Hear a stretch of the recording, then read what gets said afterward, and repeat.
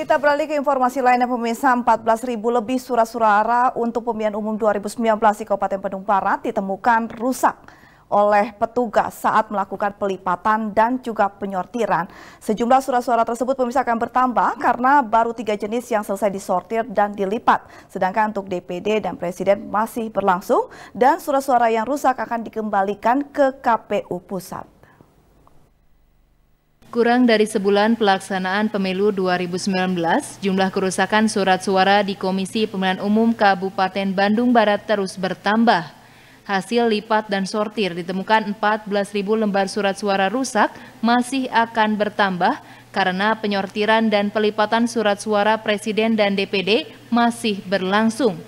Kerusakan terjadi akibat bercak tinta percetakan, robek dan kusut, juga tidak memenuhi standar untuk digunakan pada pemilihan umum.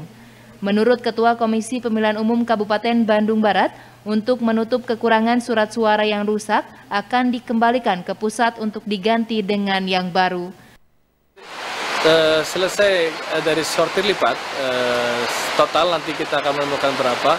Itulah pada waktu itu juga akan kita buatkan surat permohonan untuk penggantian terhadap yang rusak ataupun kekurangan dalam uh, dus dan segala Kemarin yang rusak itu sekitar 4 ribuan, 3 ribu 4 ribu itu di DP, DPD ya, dengan di DPRD provinsi.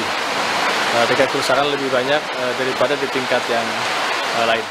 Penyortiran dan pelipatan melibatkan 600 orang tenaga dan dilakukan di tiga tempat tidak jauh dari Gudang Raja Wali, Kecamatan Padalarang, Kabupaten Bandung Barat. Algi Muhammad Gifari, Bandung TV.